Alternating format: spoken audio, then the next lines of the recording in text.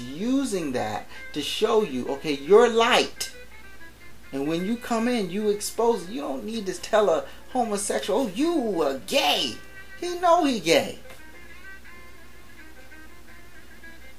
No, it's how you live as you walk in the light. So he's got to give you a picture of sin as darkness. And you're what? Light. There you go. Romans 13, verse 12. We also see this in Acts 26, verse 18, and in John 3, verse 19.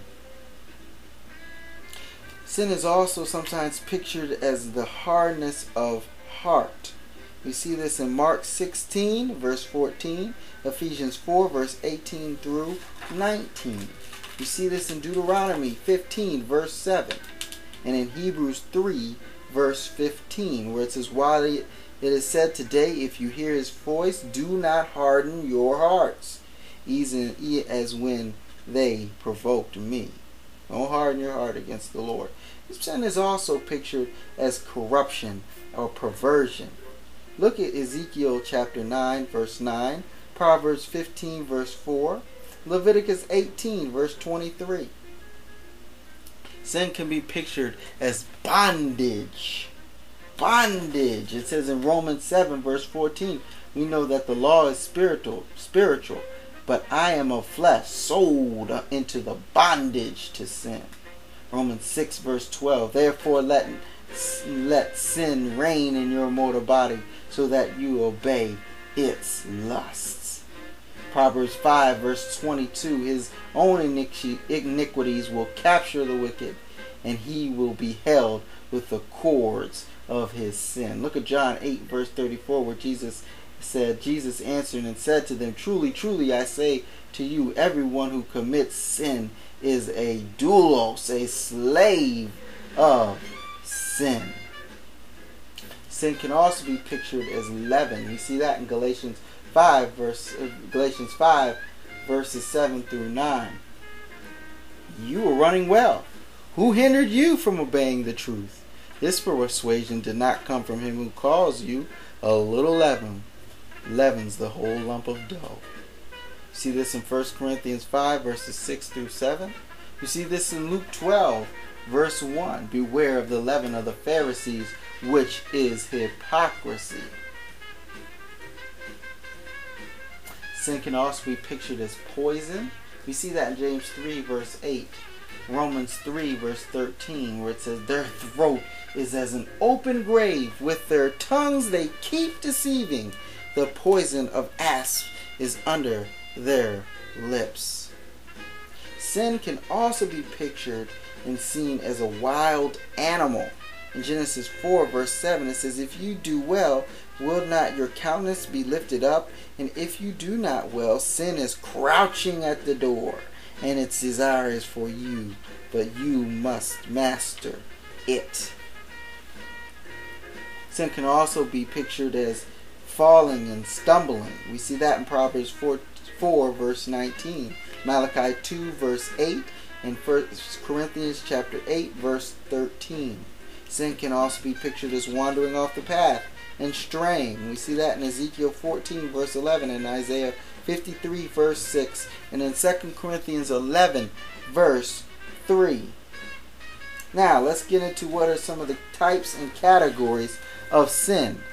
Okay, there's sins of commission and omission. Now, the sins of commission are acts that people commit that are morally wrong, like this they steal, they lie, they murder, they worship an idol, they break a direct command of God, they violate a pro prohibition, or they directly advance an evil goal. Now, sins of omission are acts that people should have done but did not do. They did not defend the defenseless. They did not give thanks to God. They did not help a person in need. They don't believe God's promise. They are inactive when they should be active, unconcerned when they should be concerned, and uninvolved when they should be involved. An example of this is the Pharisee in the parable of the Good Samaritan. Okay. Okay, as we look at types and categories of sin, sin can also be the sins of willing, willfulness and ignorance. Now, willfulness, this you would see in James 4, verse 17, or in Luke 12, verse 47 through 48, John 15, verse 22, and Romans 1, verse 32. Can also be looked at as uh, ignorance, which we see in Hebrews 9, verse 7, Acts 17, verse 23, and Ephesians 4, verse 18. And let's, let's not forget Romans 1, verse 20. Um, in the categories of sin, sin, sins of action, word, and thought. Actions are more obvious since the Ten Commandments and other verses emphasize them. Anytime Scripture gives a command related to an action and it is not carried out, that is the sin of the action. You see this in Deuteronomy, Deuteronomy 17, verse 5. Then you shall bring out that man or that woman who has done this evil deed to your gates, that is, the man or that woman, you shall stone them to death. You see this in Colossians 1, verse 21. And although you were formerly alienated and hostile in mind, engaged in evil deeds. So actions are also in words, which we see in Psalm 39, verse 1, 1 Peter 20, 1 Peter 2, verse 22, Psalm 59, verse 12, Proverbs 30, verse 32, and Ephesians 4, verse 29. We see them in thoughts and desires, which is in Exodus 20, verse 17, Isaiah 29, verse 13, Jeremiah 9, 17, verse 9, Mark 7, verse 21 through 23, and James 1, verse 15. Okay, now I'm going to uh, stop right there. We will be under the categories uh, and types of the way of sin, and we will next time start and start where it talks about repentant and unrepentant sins.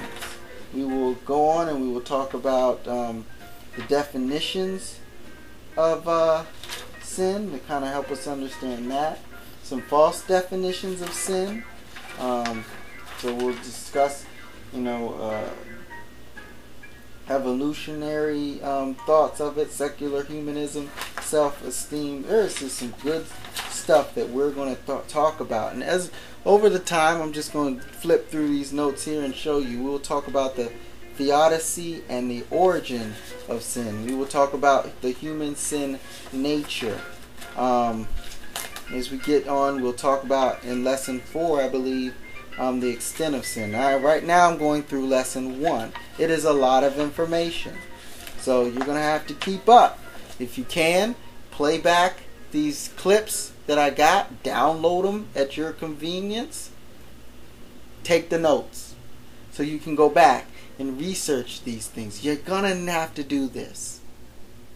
You know, lesson 5 we'll talk about the consequences of sin. Lesson 6 we'll talk about the deception and dominance of sin. We also will get into lesson 7 this psycholo- psychology's blindness to sin. And I believe I have in here lesson 8 somewhere. Um, I'm looking for it. Mm. Yeah, in lesson 8, I will talk about the remaining sin in regenerate man. So this is going to be great. Good stuff here.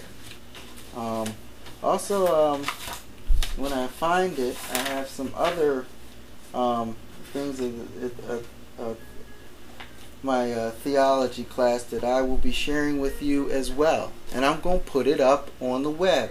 I'm going to try and get everything that I possibly can to you um, so that we can learn the Word of God in times where people want to turn away from the Word of God. So, we will pick up next time talking about uh, regenerate and unregenerate.